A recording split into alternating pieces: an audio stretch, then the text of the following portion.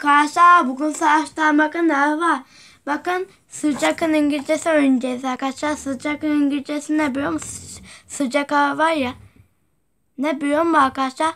Hot. İngilizce kelime olarak öğrettik arkadaşlar.